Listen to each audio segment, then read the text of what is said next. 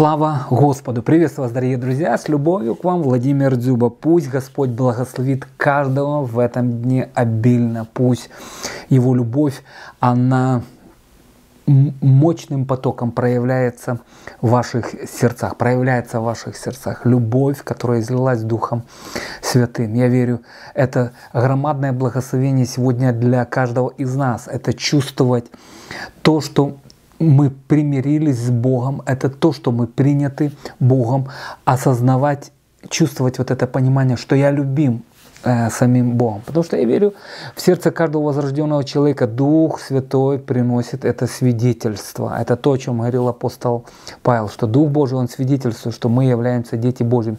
И я думаю, вот это понимание чувства любви, что я любим.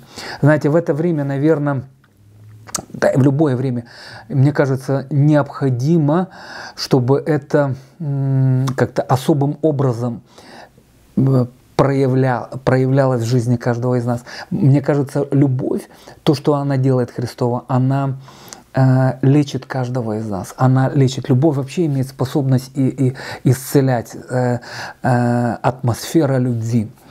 Знаете, когда как-то был момент, когда я общался с одним э, человеком, который был связан с наукой, и мы э, раз, э, разговаривали в отношении самой генетики, понимания то, что Бог сотворил человека, и в каждом человеке находится определенная информация, которую он несет, связана с его генами, которую каждый ген он отвечает за определенную функцию, цвет, волосы, там то-то, то, многие, многие вещи.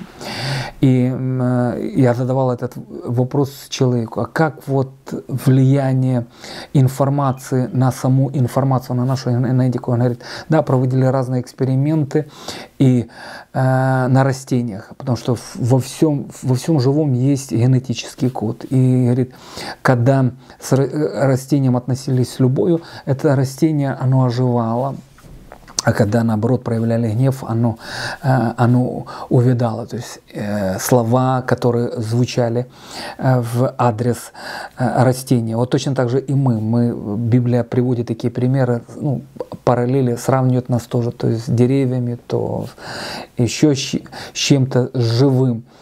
И точно так же и мы сегодня нуждаемся в словах любви, в словах любви. И мне кажется, что сегодня для каждого из нас, как верующим, есть необходимость стремиться к откровению Божьей любви. Знаете, это то, о чем апостол Павел говорит в своем, э, в одном из своих посланий, он говорит о понимании самой, э, о понимании самой любви, чтобы мы э, возрастали, э, чтобы мы возрастали в любви чтобы мы э, стремились к тому, чтобы иметь э, понимание любви Божьей в отношении каждого из нас. Я сегодня понимаю, почему. Потому что это будет э, фундаментом который мы заложим для себя в наших отношениях с Богом, понимая то, что я принят, то, что я принят. И как апостол говорит в послании Ефесянам, 19 э, стих. «Чтобы уразуметь превосходящую разумению любовь, дабы нам исполниться всей полнотою Божией». Вот э, простые слова, но на самом деле какая заложена глубина. Через понимание любви мы исполняемся полнотой Божией. Мне кажется, отсутствие понимания любви оно, э, Божией, оно ограничивает нас.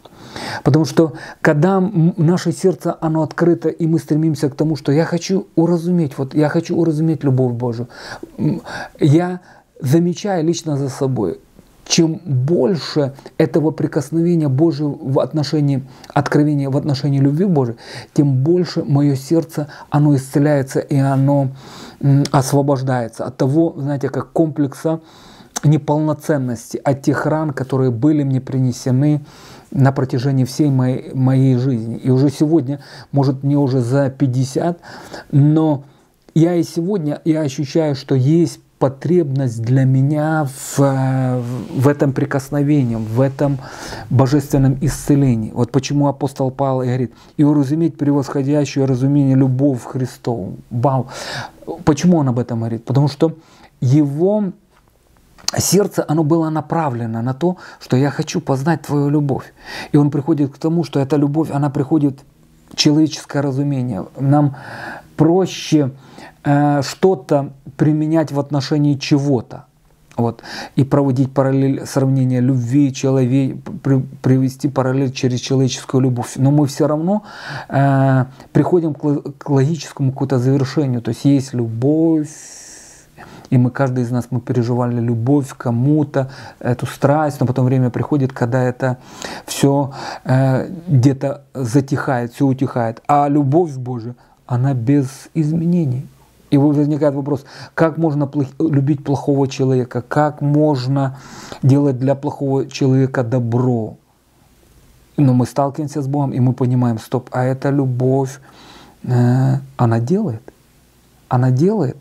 Бог это делает, дабы исполниться всей полнотой Божией. Потому что через понимание любви, э, понимание любви, которое исцеляет нас, восстанавливает нас, мы, мы можем не можем, не то, что можем, мы исполняемся полнотой Божией.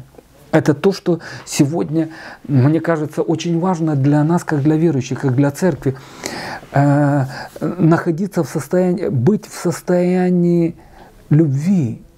Знаете, последнее время то, о чем говорил Иисус, многие холодеют любви. И я понимаю, одна из причин, почему это будет происходить, потому что а, сердце будет увлечено чем-то, отвлечено от самого Бога. Вот как раз от этого атрибута Божьей любви, что это его сущность, это его естество Бога в отношении э, людей. Он любит, он любит.